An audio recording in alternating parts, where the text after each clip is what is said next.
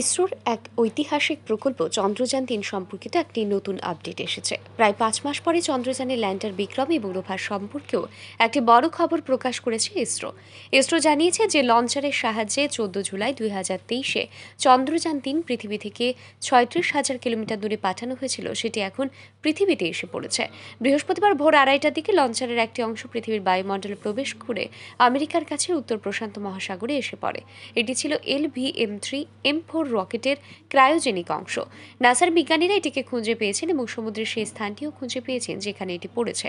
উৎক্ষেপণের পর চন্দ্রযান থেকে বিচ্ছিন্ন হওয়ার সঙ্গে সঙ্গে লঞ্চারটি পৃথিবীর চারপাশে ঘুরছিল। এটি ধীরে ধীরে পৃথিবীর কাছাকাছি চলে আসছিল যখন পনেরো ষোলো নভেম্বর দু হাজার তেইশ রাতে এই অংশটি আমেরিকার উপকূলে উত্তর প্রশান্ত মহাসাগরে এসে পড়েছিল। উত্তর আমেরিকার অ্যারোস্পেস ডিফেন্স কমান্ড নোরাড এটি ট্র্যাক করছিল। ট্র্যাকিংয়ের পরে তারা ইসরোর সঙ্গে কথা বলে এবং মহাকাশ থেকে পৃথিবীর দিকে আসা লঞ্চারটিকে শনাক্ত করে এবং সমুদ্রে পড়ার পরে ইসরো এটি নিশ্চিত করেছে।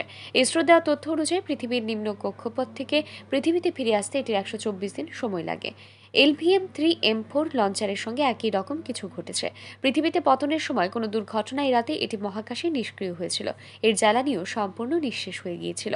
ব্যুরো রিপোর্ট, আর ই নিউজ।